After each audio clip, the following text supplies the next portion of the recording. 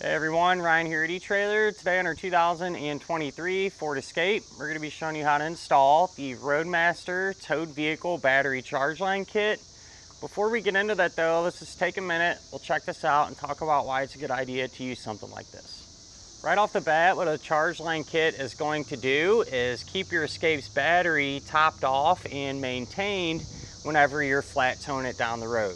And there's a handful of reasons why your battery could get depleted in the first place. Uh, one of them being because of your supplemental braking system, right? So every time that system turns on, it's going to use a little bit of battery power, which could potentially drain it down over time. You know, you're over the road for hours and hours, things like that happen. Um, another reason could be the fact that with these escapes, a lot of times people will keep the uh, HVAC in, the, in, a recirculate mode um, to help, you know, keep the cabin uh, full of fresh air and everything else like that. It's, I believe Ford recommends that you do that. And so because of that, you know, that can use a little bit of power uh, and things of that nature. And with these, with these hybrids now, there's a lot of electric assisted features, right? Brake, steering, all that type of thing and those a lot of times are very voltage sensitive. So it's really important that you keep your battery at that proper voltage so all those different systems and components can work properly. The way the kit is going to work is really simple. Uh, it just hooks up to your positive battery post here, which this is the power supply because the battery is actually in the back, but uh, this goes to it, so same difference. Then you got a wire going to a circuit breaker, which will keep everything protected in the event of a short or anything along those lines. The breaker will trip, not going to harm your vehicle or your coach for that matter. But then the wire is going to come out of the breaker and get ran all the way down to the front of your vehicle. That wire will get connected to your vehicle's six-way connector. So you will have to have this style uh, in order for the charge line to work because if not, you won't have a place to, to hook it up to, right? And where it's going to actually receive the power is from your motorhome. So from your motorhome seven-way connector, uh, it'll send that auxiliary power through here, up through the charge line, topping off that battery and keeping everything charged up. Now with that said, you know, your motorhome seven-way is going to have to have that, that auxiliary power to begin with. The vast majority of them out there, at least from my experience, do.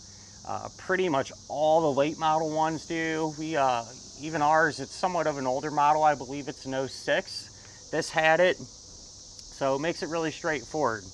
Um, you know, this kit isn't going to affect your motorhome's batteries at all or anything like that.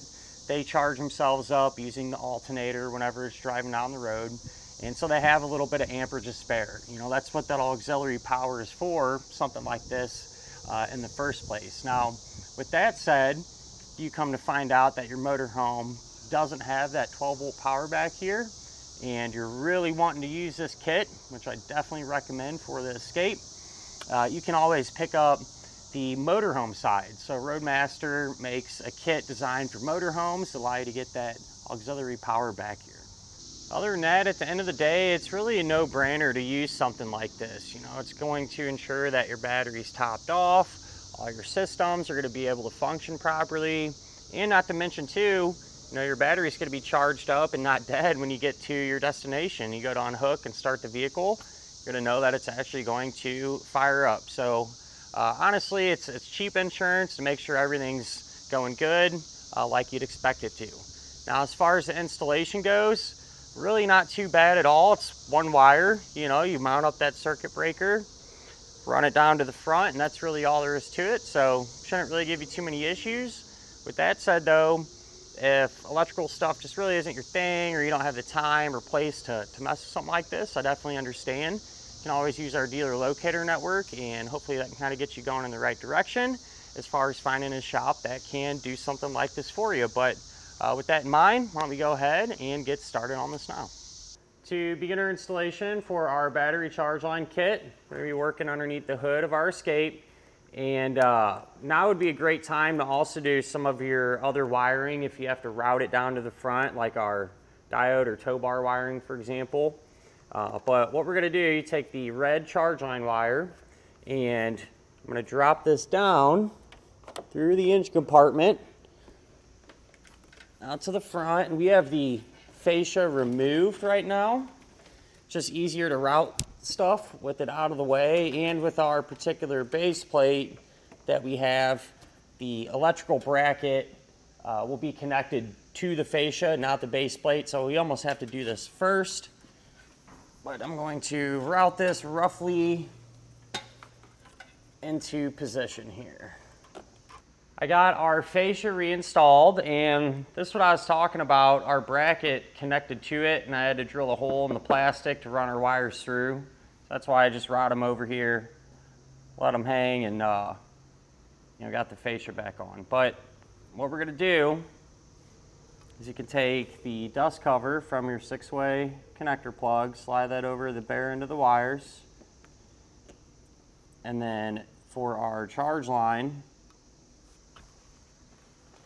I'm just going to clip a little bit off the end there, give us a fresh start. I'm going to strip the insulation back, give that wire a good twist, and I'm going to do my tow bar wiring the same time here since we're right here. But for the charge line, you can take your six-way round connector and we're going to be installing our charge line on this middle terminal. So we back out the set screw almost all the way, put it in place, and I don't want any bare wire exposed. So this connector plug has a pretty sh uh, shallow pocket there. I'll trim a little bit of that off. Maybe just a little bit more because this will have power to it. You know, you don't want a hot wire in the back of the connector. So we'll slide that into position. I'll hold it in place. And tighten down that set screw. Got the rest of our diode wires hooked up. And one thing that I like to do is take some silicone and just put it in between the terminals and that'll help prevent any corrosion issues, things like that. And keep it all sealed.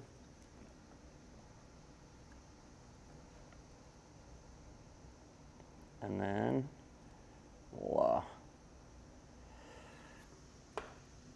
we'll take our dust cover there slide that in place. I'm to put a little bit of tape on the back side here just to do our best to prevent moisture from getting in there.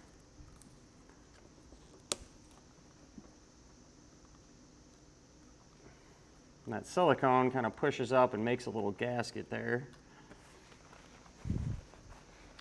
And what we're left to do down here, we can feed everything through and mount up our connector plug.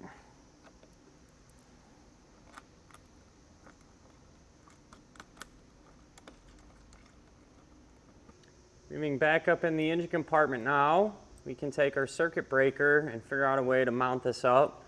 So you can just use the provided self-tapping screws to secure it, you know, close to your uh, battery post or your power post here in the engine compartment. But I noticed on these escapes, a lot of the metal's really, really hard and uh, tough to drill into. And so I'm gonna do something a little bit different. Um, I just had this bracket laying around and uh, attached our breaker to it. Um, and then while we're right here, we'll go ahead and remove these nuts. We'll set these off to the side. And where I'm going to put this, if you look right down here, there's a bolt there. All right, and we'll pull that out with a 10 millimeter.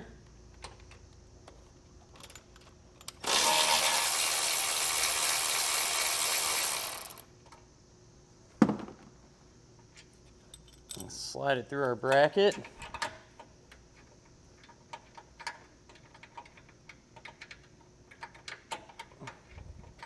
then we'll just reattach it here.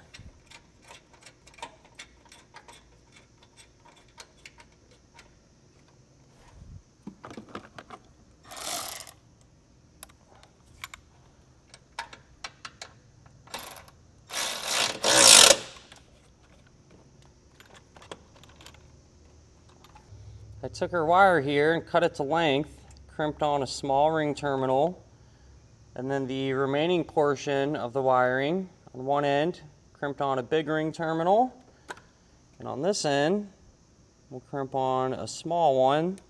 This is how you do this. You just strip the ends back, twist them, put the terminal over the bare end of the wire, and crimp it down. That's all there is to that. So for this one here that's going to the front of our vehicle, to the six-way connector, you're gonna put that on the gold colored post. That one's labeled battery, but in this case, our coach is acting as our battery. So that's why we're setting it up that way. Take the nut, snug this down using uh, 3 eighths. And you don't have to tighten these up too much. If you try to get carried away, a lot of times the breaker will break off of the little bracket there. So just snug it up. Put the other end on the silver post and get it tightened down.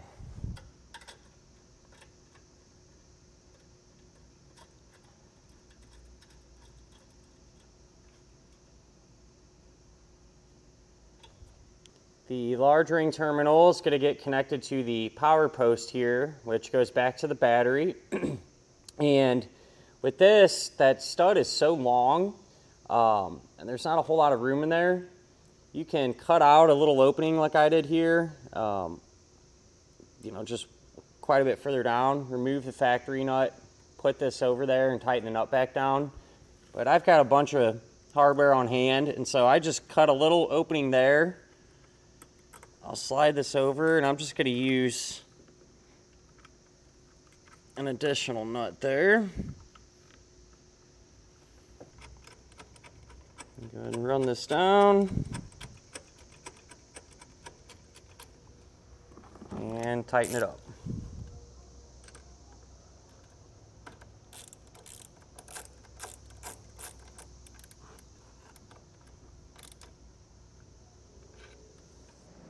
And that'll finish up our look at and our installation of the Roadmaster battery charge line kit on our 2023 Ford Escape.